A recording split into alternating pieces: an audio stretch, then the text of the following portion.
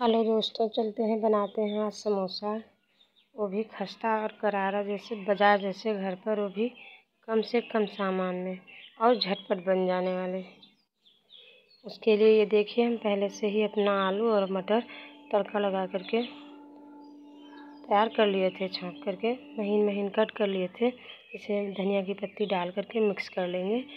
अब इसे तो सब कोई बनाना जानता है। पर किसी दिन पूरा वीडियो डालेंगे। और उसके बाद ये मैदा हमारा बचा हुआ था, गुजिया बना रहे थे। और ये देखें हमारी ये सब्ज़ी तैयार हो चुकी है भरने वाली।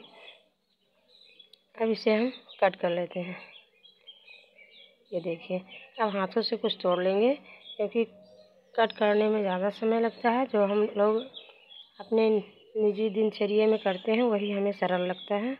ये देखिए हमारी जो है, चकई तैयार हो चुकी है, इसे हम बेल लेंगे।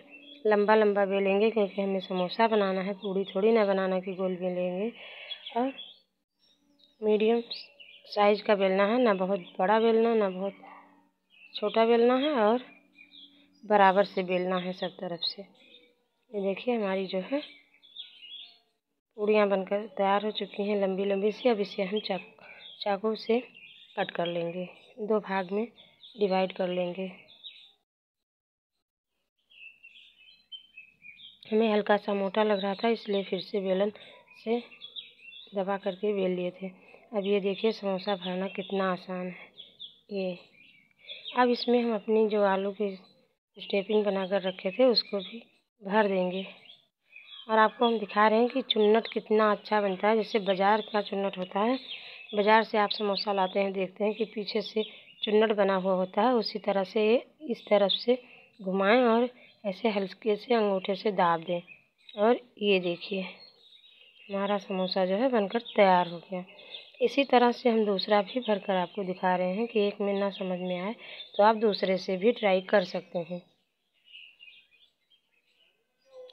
ये देखिए, अब इसमें भी हम अपना आलू जो है, मसाला उसे इसी में डाल देंगे। आप अपने मर्ज़ी से जितना मसाला डालना चाहें, उतना डाल सकते हैं। पर ऐसा करिएगा कि बाहर ना निकले। अच्छे से सील करिएगा इसे। ये देखिए, इसमें हमें पानी भी नहीं लगाना पड़ता क्योंकि ये हल्का सा नरम है, बहुत टाइट नहीं है हमारा मैदा, क्योंकि गुजिया के लिए गूँथा गया था, इसलिए ये भी हमारा समोसा बनकर तैयार हो चुका है। इसी तरह हम सारे समोसे को तैयार कर लेंगे और इसमें अब डाल देंगे कढ़ाई में हम रिफाइंड ऑयल ताकि ये गर्म हो तब तक। और ये देखिए, आपको प्लेट में दिखा रहे हैं, समोसे हमारे तैयार हो चुके हैं। लग रहा है ना, बिल्कुल बाज़ार जैसा और इसे ज़्यादा टाइम तक खुला ना रखें, इस पर सूती कपड़ा डाल दें। अब हम अपना समोसा जो है, कढ़ाई में डाल देंगे एक एक करके और अगर गहिर तले की कढ़ाई होगी तो उसमें समोसे अच्छे से पकेंगे। अगर गहरी नहीं होगी तो अच्छे से नहीं पकेंगे, या तो ज़्यादा रिफाइंड ऑयल डालना पड़ेगा इसमें। अब इसे हम धीरे धीरे पलट देंगे, एक मिनट के बाद में।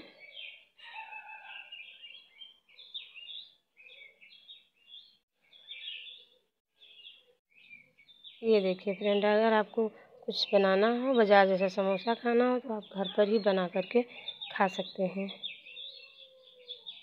इसे हम अलट पलट करके अच्छे से सेक लेंगे ताकि गोल्डन ब्राउन कलर का हो जाए।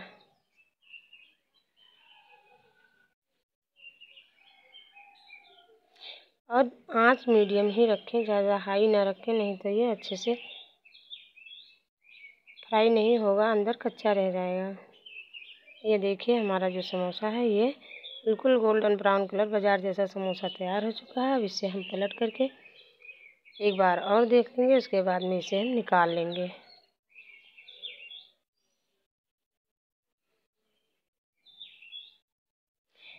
ये देखिए हमारे समोसे बिल्कुल लाल लाल तैयार हो चुके हैं, ब्राउन कलर के। आप देखेंगे तो कहेंगे कि हाँ ये बना थोड़ी ना घर पर, ये बाज़ार से आया हुआ समोसा है, लेकिन नहीं, आपके सामने बना रहे हैं और ये घर का बना हुआ है। ये घर की पिसी हुई हरी धनिया और टमाटर की चटनी है और ये समोसा देखिए। कितना प्यारा कलर आया इसका। और ये देखिए, आपको तोड़ के दिखा रहे हैं कि कितना अच्छे से अंदर तक आलू भरा हुआ है। अगर फ्रेंड वीडियो आपको अच्छी लगे तो प्लीज़ लाइक, शेयर, कमेंट करें और हमें हमारी कमियाँ बताएँ ताकि हम अपनी कमियों को सुधार सकें। लीजिए, खा लीजिए समोसा और चटनी। अब मिलते हैं नेक्स्ट ब्लॉग में। Bye bye and thank you